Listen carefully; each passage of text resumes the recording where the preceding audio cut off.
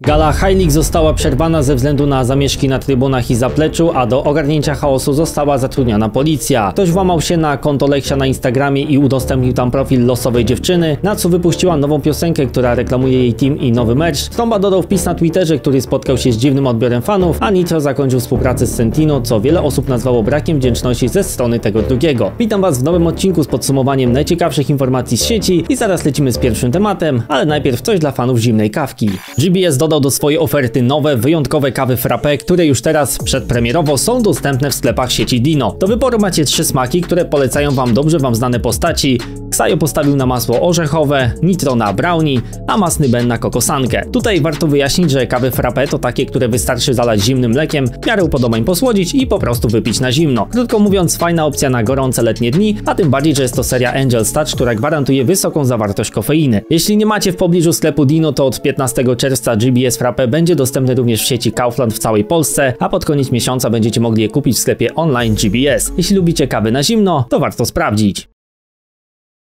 Im bardziej jesteś znany, im większe liczby posiadasz w mediach społecznościowych, tym większa szansa, że ktoś będzie chciał się dostać na twoje konto. Przekonał się o tym Leksiu, na którego Insta Stories udostępniono post nieznanej nikomu dziewczyny wraz z jej nazwą profilu. Po kilkudziesięciu minutach relacja została usunięta, a sam Leksiu dodał sprostowanie, że ktoś mu się włamał na konto i to nie on udostępnił post. Przepraszam za wcześniejsze Insta Stories, ktoś włamał mi się na konto i zapostował je bez mojej wiedzy, za to niedługo możecie się spodziewać aktywności na tym profilu, tym razem mojej. Leksiu poprosił także, aby nigdzie nie udostępniać wizerunku dziewczyny, dziewczyny oraz jej profilu, prośbę skierował nie tylko do kanałów komentarii, ale i do swoich fanów. Bardzo proszę też o nieudostępnianie przez Was, a w szczególności przez kanały z większą widownią komentarii itp. wizerunku osoby, której zdjęcie pojawiło się na moim profilu. Dziękuję i dobranoc. Osoba, która włamała się na jego konto w oczywisty sposób chciała nawiązać do afery z początku tego roku. Była to oczywista prowokacja, która miała ponownie przypomnieć o sprawie i odświeżyć temat. Głos w sprawie zabrała oznaczona dziewczyna, której fotka pojawiła się na jego profilu. Potwierdziła, że z nim nie pisała i że nie mają bliskiego kontaktu. Aby rozwiać wszelkie wątpliwości wrzuciła screena z prywatnych wiadomości, które wysłała Leksiowi po zobaczeniu u niego swojej fotki. Nie mam żadnych bliskich kontaktów z Leksiem i sprawa została wyjaśniona, ktoś mu się włamał na konto i jakimś cudem dodał moje zdjęcie na story. Dlaczego dodałeś moje zdjęcie na relację? Przepraszam, ktoś mi się włamał na konto? Dobrze, rozumiem. Dodała również, że nie z własnej woli została wciągnięta w tę sprawę i zaapelowała, aby nie udostępniać publicznie jej wizerunku. Jest to w pełni zrozumiałe, a tym bardziej, że jej wizerunek został użyty w takim, a nie innym celu. Cześć, odnoszę się jeszcze raz do zaistniałej sytuacji, gdyż moje zdjęcie jest już nawet na Twitterze. Proszę Was, abyście już nigdzie nie udostępniali moich zdjęć, ponieważ jest to dla mnie dość stresująca i niekomfortowa sytuacja. Drugi raz dodam, że Leksiu wyjaśnił całą sytuację i nie widzę sensu na rozgłaśnianie tego. Żadna ze stron nie ma problemu, więc prawdopodobnie na tym zakończy się ta sprawa. Oczywiście można tutaj budować różnego rodzaju teorie, ale na ten moment wygląda to na głupi żart kogoś, kto się włamał. Leksiu zapewne zadbał już o bezpieczeństwo swojego konta i lecimy z kolejnym newsem. Natsu wraz z własną ekipą wydała zapowiadaną piosenkę o nazwie Neternal. Promuje ona nie tylko nowy projekt, ale i nowy mecz oraz płatki, na których widnieje wraz z Marcinem Dubielem. Generalnie jeśli chodzi o przekaz, to nie ma zaskoczenia, bo słuchacze dowiedzieli się, że życie celebrytów opiera się głównie na melanżu i robieniu siana, co powtarzane jest w zwrotkach i refrenie. Nowe crew,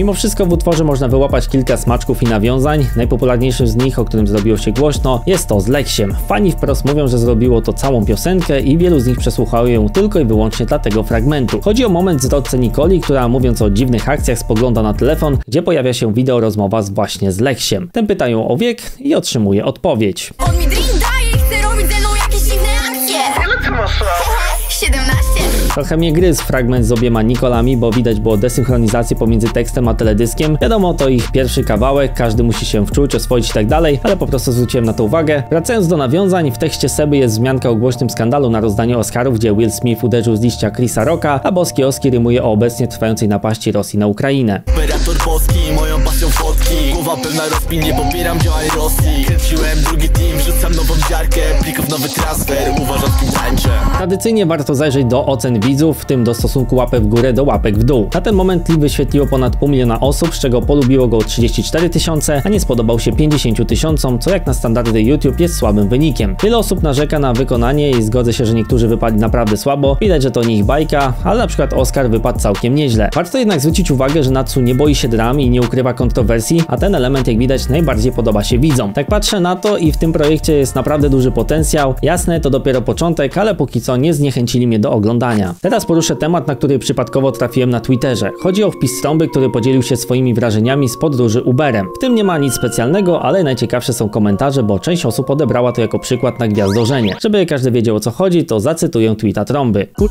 Zamówiłem Uber Select, żeby mieć pewność, że będzie klima, ciepło dosyć w Katowicach dzisiaj, no i przyjechała po mnie do a Skoda bez limy, pan ledwo mówiący po polsku mówi, że to nie jego wina, co tu jest nie tak. Generalnie brzmi to jak standardowa relacja zawiedzionego klienta, w sensie zamówił usługę premium, samochód z klimatyzacją, przyjechał bez, no i podzielił się wrażeniami na Twitterku. Jakoś napisał to Trąba, znana osoba, to sytuacja wzbudziła wiele emocji, które przełożyły się na komentarze i tutaj kilka z nich. Od od pieniążków, co? Nie zestaj się laleczko, ja cię mogę ochłodzić szybciutko, nie pasuje to z buta zapalaj. Gwiazdorek, karetę następnym razem zamów, jak pani już w starej Skodzie czuje dyskomfort. Oczywiście były też normalne komentarze osób, które zrozumiały o co chodzi, nie czepiały się i na przykład doradzały, aby skontaktował się z supportem, natomiast dobrze to podsumował Nexe, który napisał. Wy jesteście w tych komentarzach. Przecież to ta sama sytuacja, jakbyś, nie wiem, zamówił drogie buty, a w patrze byś zobaczył kroksy. Zdenerwowanie w tej sytuacji totalnie zrozumiałe, a ludzie, którzy piszą, że gwiazdorzy powinni się w łeb pier...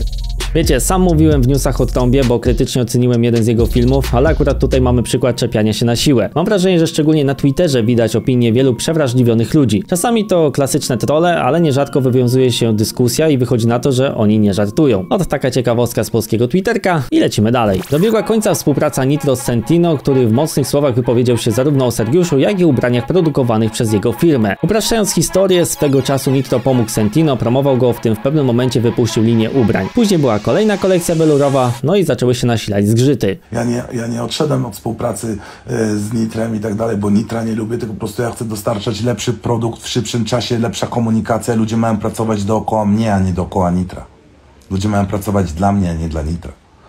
Ja mam teraz pięciu grafików, dwóch typów od marketingu, trzech typów od logistyki, którzy pracują teraz dla mnie. Te rzeczy w większości były fajne, jak na teraźniejsze polskie warunki, ale były dość drogie, jak na to, co to było. Po prostu wolałbym zrobić coś, gdzie miałbym większą kontrolę. Nie chcę tego oceniać. Nitro wytłumaczył swój punkt widzenia, jeśli chodzi o obniżanie kosztów produkcji. Stwierdził, że jego celem nie jest płacenie ludziom najniższej krajowej i też zaznaczył, że zawsze chciałaby możliwie jak najwięcej rzeczy produkować w Polsce. Taką ma filozofię firmy i nie zamierza tego zmienić. Zaczął być poruszany temat tego, że rzeczy, które robimy są drogie. Są drogie, jeśli chodzi o, o koszt, więc pojawił się pomysł, że nie wiem, ściągajmy materiał z Turcji albo w ogóle róbmy to w Turcji, nie wiem, w Maroko, w jakichś innych krajach, gdzie, gdzie siła robocza jest tańsza, gdzie, gdzie rzeczy są tańsze. No, ale ja mam tutaj taką etykę mm, pracy z ludźmi, że raz ja bym chciał, żeby ludzie, którzy u mnie y, pracują, żeby też mogli pójść do kina, żeby też y, y, mogli pójść do restauracji, więc y, no, my nie płacimy im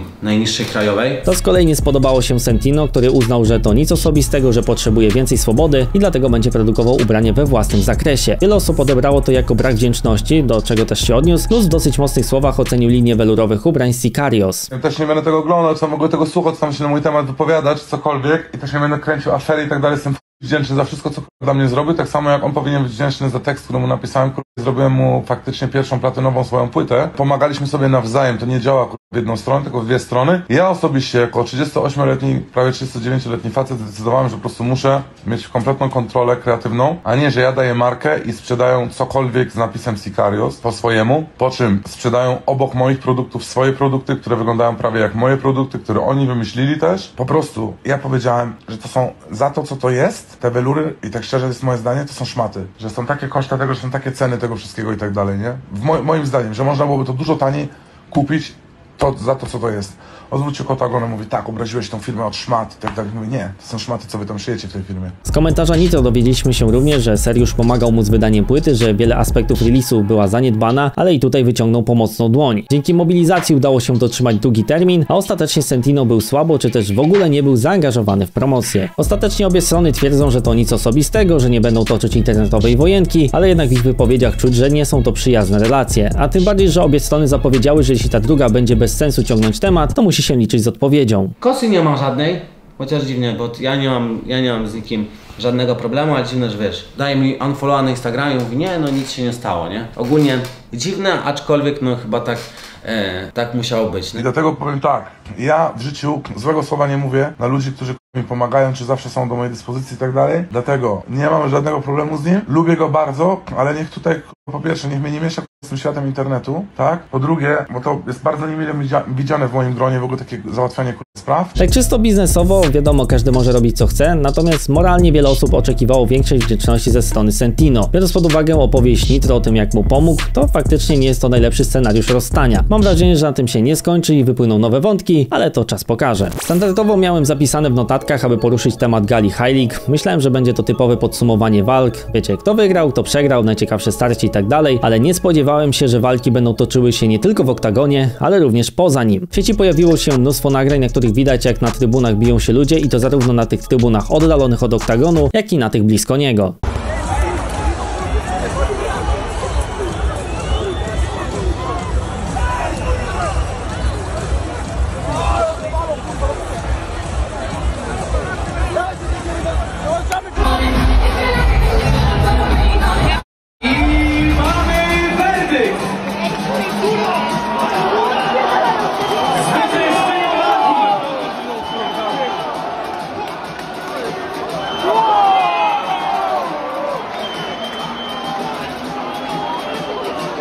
Chaos panował również na zapleczu, ochrona ścigała podejrzanych i agresywnych ludzi, jest wiele doniesień o użyciu gazów, w tym od samych zawodników. Nawet na sali przeznaczonej dla mediów nie było bezpiecznie, w związku z tym ukazało się stosunkowo mało wywiadów, a nawet te, które się ukazały, były przerywane takimi obrazkami. Zgadłeś, ale, ale, nie zgaduj dalej. O kurwa, o kurwa, o o. Ojej, ojej, co o, się o, dzieje? O o,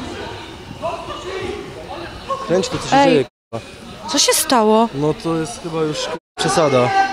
Przepraszam za słowa, ale to już jest chyba przesada. Ej, kto to był? Do... Przepraszam, bo tutaj jest zamieszanie. Nie- Przepraszam was widzowie, że nie pokazujemy, ale do media roomów targnęły jakieś osoby. Troszeczkę się chyba wszyscy przestraszyliśmy. No tak, wiesz co, no ogólnie chore są takie sytuacje, nie? Nisa? Z Bardzo, Dandiego? bardzo, no emocjonująca była mocno, wiesz, cały internet huczał o tej walce, więc szkoda, no. Musimy kończyć. Ja pi... Chodzić. Czyli musimy, musimy uciekać, bo wypraszają nas. O kur... A przepraszam bardzo za to słowo. Przerywamy.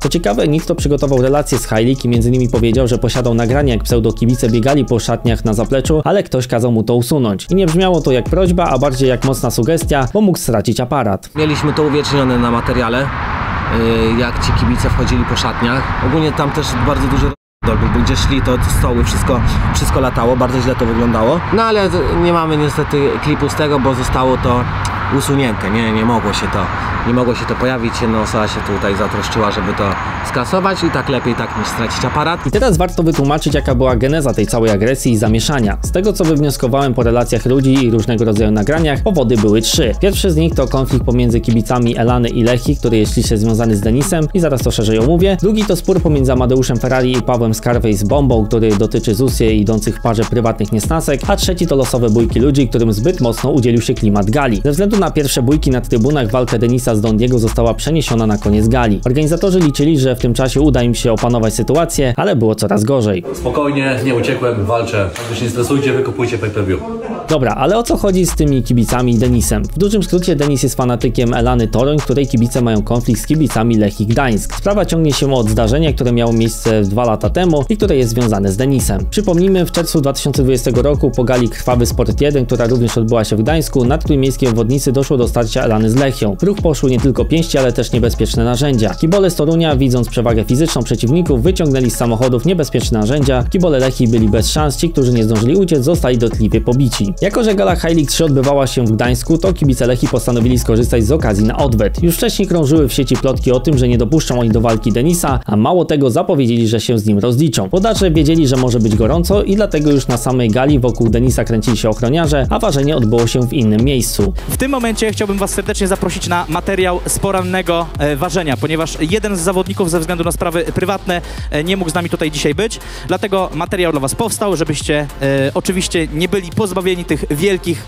gargantuicznych emocji. Ach, wiedziałem, wiedziałem. Oni sobie tutaj urządzili mały konkurs, kto pierwszy Pawłowskiemu rękę złamie. No, spodziewam się, że Denis wniesie na wagę odrobinkę więcej. Zobaczymy, ile to będzie. Śledząc doniesienia w sieci spotkałem się z informacjami, że na samej Ergo Arenie było ponad 100 ochroniarzy. Jedni mówili, że 150, inni, że 300. W każdym razie to nie jest tak, że kilka osób miało zabezpieczyć tę imprezę. Znowu jak możemy dowiedzieć się z TikToka Pawła Swinarskiego a.k.a. dla pieniędzy, w środku było 50 kibiców Lechi, natomiast kolejna setka stała przed areną. Podobno są to legitne informacje, bo uzyskał je rozmawiając z kibicami Lechi.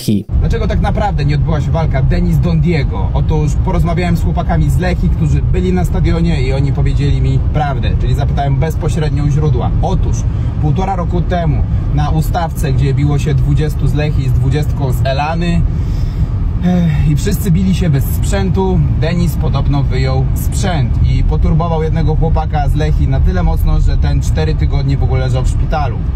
I teraz dlaczego wczoraj wydarzyło się, co się wydarzyło, czyli zamieszki na trybunach. No bo panowie z Lechi mieli idealną sytuację do tego, żeby wziąć odwet na Denisie. Pojawiło się 50 ym, chłopaków z Lechi na trybunach, którzy e, ścigali, polowali na, na chłopaków z Elany, których podobno było tylko kilku. Chcieli po prostu dopaść Denisa i zrewanżować się na całej Elanie. Przed stadionem z kolei, przed areną czekała kolejna setka chłopaków z Gdańska. Byli na ich podwórku. Skąd wiem? Bo zapytałem u samego źródła, czyli zapytałem chłopaków z Lechi, o co poszło i o co ten cały dym. No i kilku z nich mi to wyjaśniło. Wyglądali no, na szczerych i prawdomównych. Czy tak było naprawdę? Nie mi oceniać. No ale tak wygląda na to, y, to jest prawdziwa przyczyna, dlaczego nie odbyła się walka Denisa z Dondiego. Ostatecznie ochrona nie była w stanie zapanować nad sytuacją i do gry wkroczyła policja. Jak się domyślacie, wtedy już nie było żartów, w powietrzu czuć było gaz i wychodzi na to, że nie tyle organizatorzy, co właśnie policja zdecydowała, aby nie odbyła się walka Denisa z Dondiego ze względu na zbyt duże ryzyko. A tym bardziej, że oprócz losowych ludzi bijących się między sobą, doszło również do starcia znajomych Ferrariego ze Scarface'em, gdzie w ruch poszły również krzesła. Jak to było właśnie? Było, jak doszło do, do twojego starcia z Ferrarim dzisiaj? No ja robiłem sobie zdjęcia z dziećmi i te downy się rzuciły, no przecież patologia. Jak No, ktoś na ciebie rzucił dokładnie? no ten clown z jakimiś swoimi kolegami, nie? A, ile ich było? Ilu ich było? Nie wiem, no jest nagrane, dostali krzesłami, a ja nie dostałem ani strzała. A dostali krzesłami od kogo? Ode mnie. No. Rzucałeś y, krze...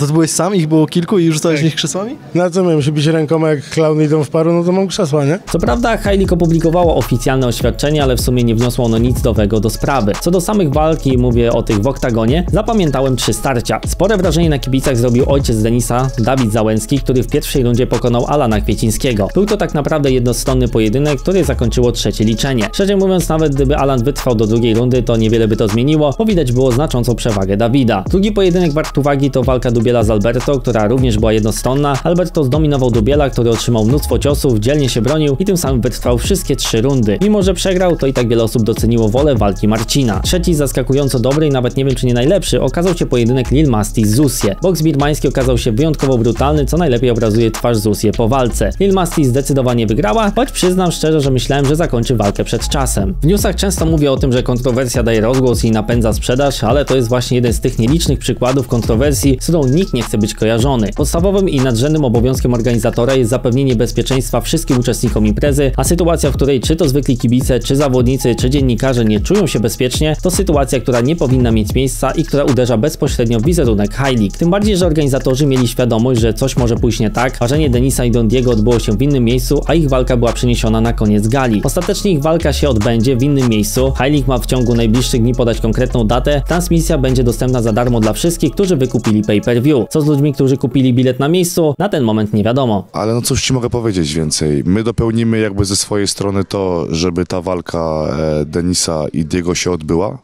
Ona się odbędzie, termin wam dokładnie podamy i to będzie na pewno w przeciągu kilku dni. E, I osoby, które wykupiły pay-per-view na pewno tą walkę będą mogły obejrzeć. Patrząc na to surowo i czysto biznesowo, to cała ta zadyma umocniła pozycję Fame MMA. Do tej pory Fame i High były ze sobą bezpośrednio porównywane, ale po tej akcji Fame wysforowało się na zdecydowane prowadzenie. Jest to super wiadomość dla federacji, ale nieco gorsza dla samych zawodników, bo nic tak nie ułatwia negocjacji jak mocna konkurencja. Jestem też nieco sceptycznie nastawiony co do organizacji transmisji z tylko jednej walki. Mówimy tu o starciu gości, którzy potrafią się bić. Jest całkiem prawdopodobne, że ta walka potrwa, nie wiem, 20 sekund, no i niestety będzie wielkim rozczarowaniem. Trochę się rozgadałem, ale chciałem szerzej omówić ten temat i to wszystko, co przygotowałem dla Was w tym odcinku i widzimy się już niedługo.